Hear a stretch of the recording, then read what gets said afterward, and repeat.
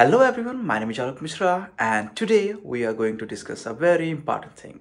I'm going to discuss the best ways to study English literature and this video is going to be helpful for anyone who is studying English literature irrespective of their degree they are pursuing. If you are in BA, MA or even pursuing your PhD, it doesn't matter. So just get into the video right away. So you are here to understand how to study English literature the best way. But hold on, let's wait and try to understand the question first. How to study English literature is the second step. First of all, we need to understand what to do before we start studying English literature. And that becomes very important. To study English literature, you need to be prepared.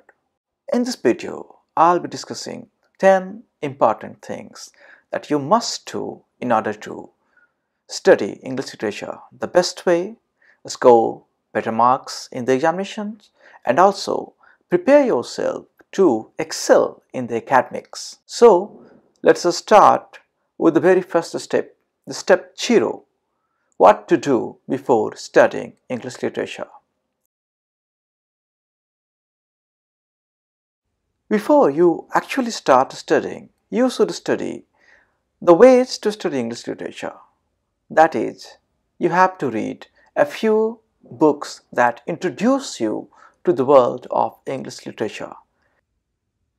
I will mention four books that will tell you what are the best methods to study English literature. The first book is How to Begin Studying English Literature by Nicholas Marsh. This book tells you how to begin studying, how to comprehend your syllabus, how to understand the basic concepts. The second book is Studying English Literature, The Essential Companion by Paul Goring and other authors.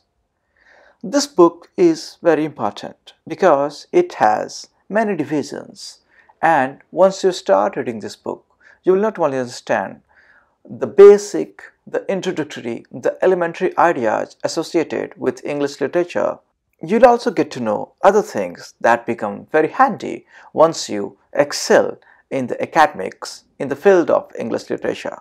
There are meanings of literary terms, there are basic introductions to literary theory, there are introductions to concepts, genres, and ages in the history of English literature. In short, there are many things that this book contains that helps anyone who is just starting to study English literature in a BA program. The third book is Studying Literature in English, an introduction by Dominic Rainsford. This book becomes important because it starts right away with the genres in literature. Once you get through the genre, you'll also get to know concise introduction to many different movements and periods in the history of English literature. And there are many other things. And fourth and the final book is Studying English Literature, a practical guide by Tory Young. This book offers many things and it offers these things in a very different way. The author suggests the students of literature how they can improve their comprehension of literature. He begins with reading, writing, thinking about theories, writing research papers and essays, and also how to append references in whatever you write. So this book takes a little different course, but it also comes handy because it tells you many things right at the beginning. So, once you study any of these books or all of these books for the best of yourself, you'll have a very good idea to start your journey in English literature. These books will equip you with all the armors that you need to excel in the field of English literature. Now we come to step 2 which is studying the syllabus. Now this is important for anyone whether you are pursuing your BA or MA you need to study your syllabus very carefully. Once you study your syllabus you can easily plan a way out for your semester or for your year or for a half yearly examination. So whatever happens, you need to study your syllabus very carefully, very attentively and that will help you planning your studies for the future. The third step is developing a habit of reading original texts. I have come across many students in English literature who actually don't read text at all. They study guest papers, they study notebooks, they study guidebooks, they study the internet, but they don't go through the original texts. This is not a good thing. As a student of literature, you must go through the original texts. Reading original texts will also help you developing patience in your personality because navigating through texts might be a clumsy task at times. Nevertheless, as a student, you need to go through each and every book prescribed in your syllabus.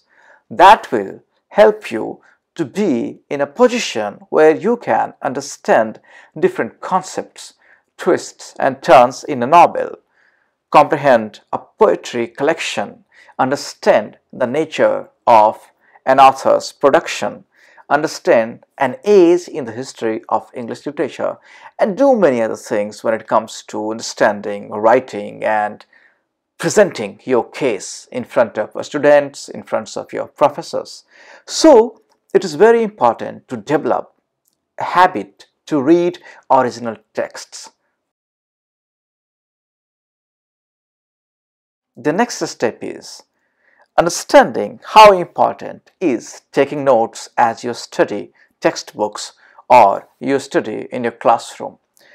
Taking notes is a very good thing that will help you remember what were the important things you were taught in your classroom or what was that important character who came on the scene and changed everything in a novel or what was that line in a poem by Wordsworth that completely changed the poem upside down.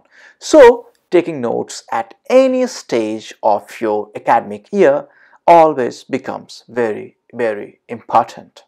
So you should develop a habit of taking notes as you study by yourself or you study in your classroom or you study in a group or even you browse internet casually.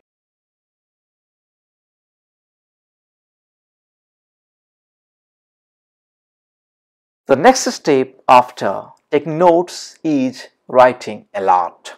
This is something that I suggest any and every student I come across. Once you start writing, you will understand what you have actually understood when you read a novel or what you understood when you read a poem or what you understood when you navigated through a book of history of English literature. So whatever you read, try to summarize it in your writing. That will also help you write better answers in your examinations. Next thing that you can do is use the internet responsibly. Yeah, you heard it right. When it comes to internet, contemporary students have become very free. They enjoy the freedom of using their mobile data, using their laptops, using their computers, using their tablets.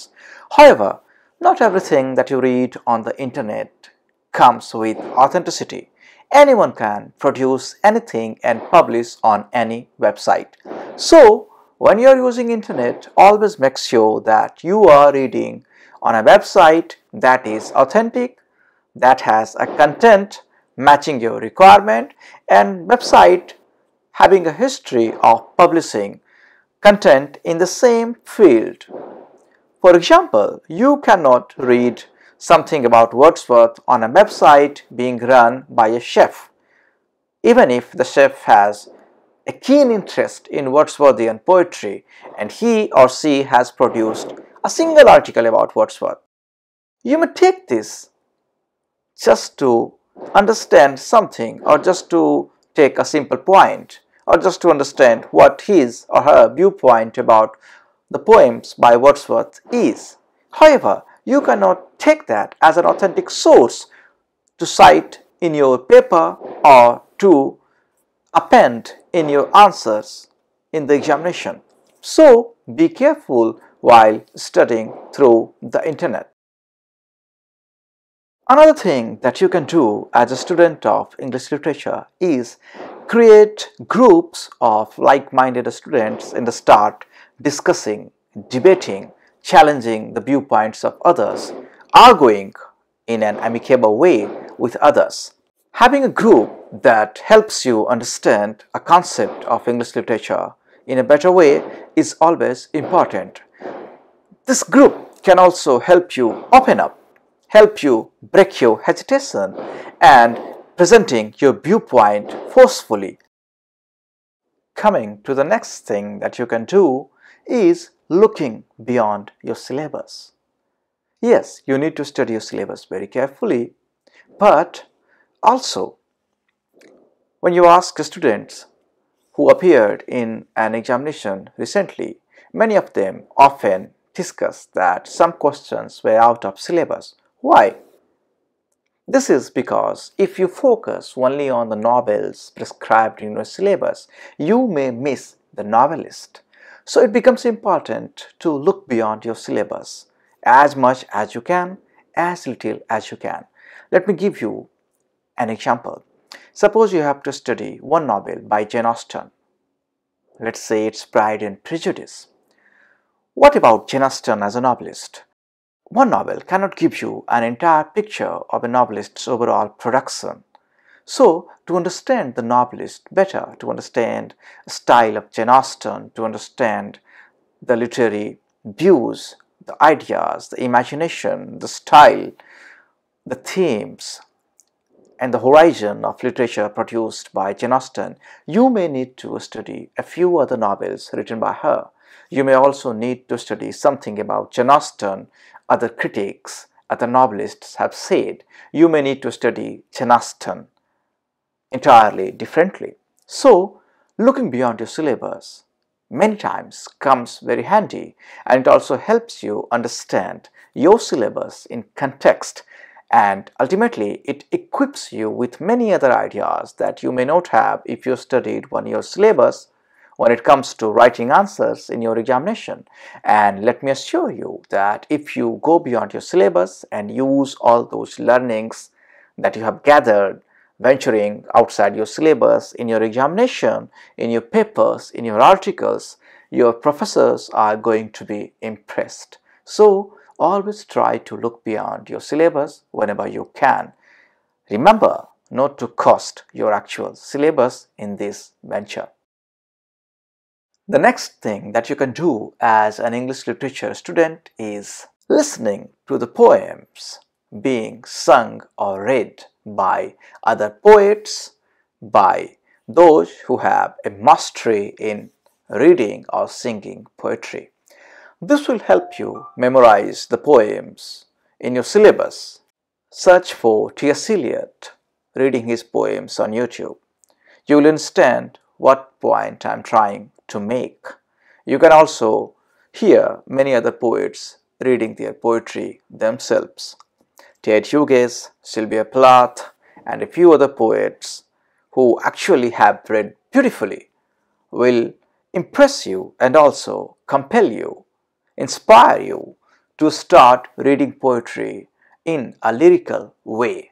The final thing that I would suggest to any student of English literature is watching movies based on the novels prescribed in their syllabus plays prescribed in their syllabus or just for fun at times.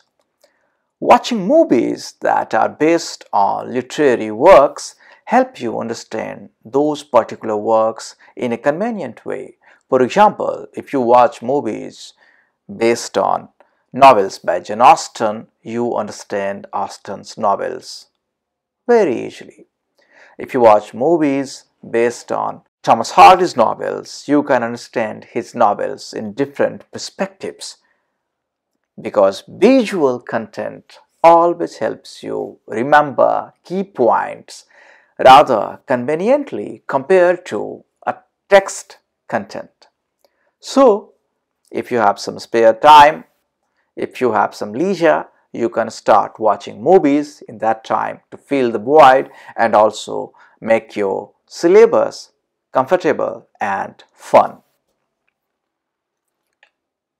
Now remember, these are the things that I have suggested.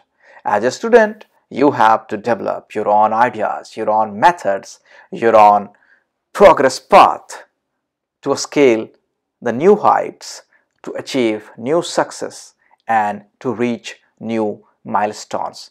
English literature is a myriad world that comes with many opportunities, but you need to be prepared to grab the best ones that come your way. All the best and I'm sure you will do your best in the upcoming examinations, semester, term, internal, annual, whatever that is. So make yourself proud. Take care. Have a good time.